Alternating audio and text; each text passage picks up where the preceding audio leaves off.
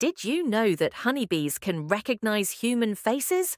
That's right, these tiny insects with brains smaller than a pinhead can remember and tell people apart.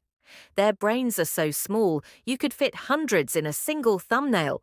Yet somehow they pull off a skill that makes most of us think, wow, that's impressive. Scientists found that bees don't just see flowers and colours, they actually study faces, noticing features like eyes, nose, and mouth, and store them in their tiny memory banks.